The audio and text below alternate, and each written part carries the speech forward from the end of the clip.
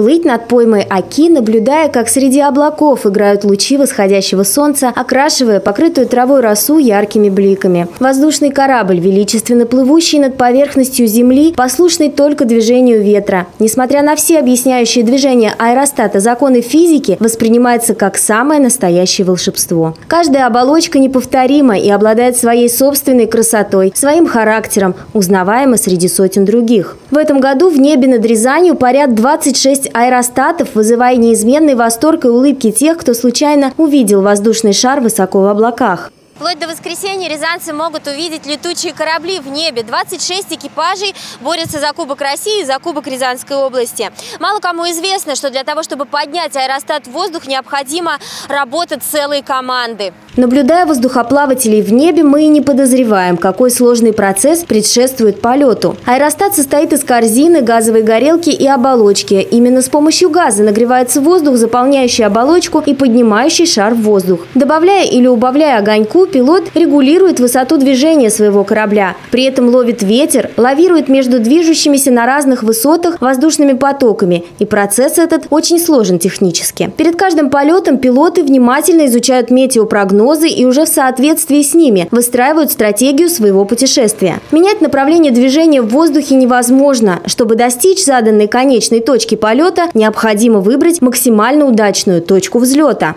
Очень интересные места, очень интересная э, ветра, э, долина, которая всегда дает возможности в любую погоду, ну, имеется в виду, конечно, не в дождь, там, но с хорошей вилкой летать пилотом. Всем нравится. Фестиваль «Небо России» к сегодняшнему дню уже стал легендой. Для спортсменов это второй по значимости рейтинговый чемпионат. Сюда из года в год приезжают самые сильные спортсмены страны, чтобы выполнить череду заданий в условиях одного из удачнейших для полетов ландшафтов – пойме Каждый соревновательный день является своеобразным сюрпризом для участников. Задания спортивная дирекция составляет ежедневно, учитывая погодные особенности следующего дня. Это для всех будет как бы, ну, та приятная неожиданность, которую они за ночь придумают под утренний полет или в течение дня под вечерний полет. Об этом никто не знает.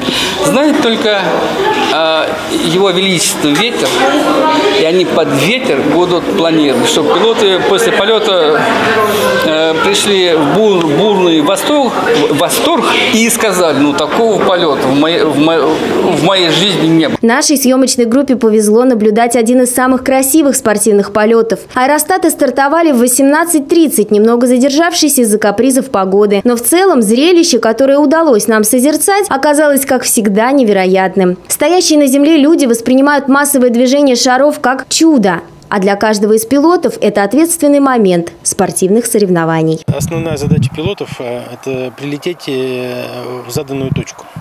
То есть, э, ну, для того, чтобы отметиться как-то в этой точке, как раз вот у пилотов есть вот так называемый маркер. Это, в общем-то, мешочек с песком, 50 грамм, зашитый в ленточку полтора метра длиной.